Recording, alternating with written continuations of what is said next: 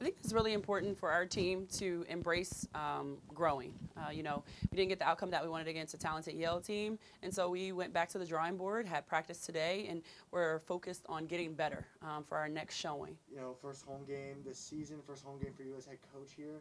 Um, what does it mean to you as well as the girls just getting ready in the locker room? How's that feeling going? So exciting, man! Nothing like having a home game. The ladies have, you know, those jitters of you know, playing in front of their friends and family live for the first time of the season. So there's a lot of excitement surrounding it, and we're an exciting team.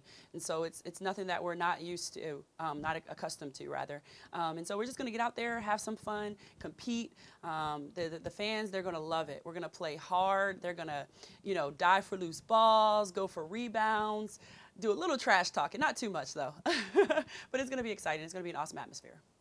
Definitely, UNH is a talented team. They're going to look to get the ball inside and out. They're really talented um, on both in both those areas, and so it's going to be a challenge for us to be able to have great post defense as well as our perimeter um, perimeter defense on their on their talented guards.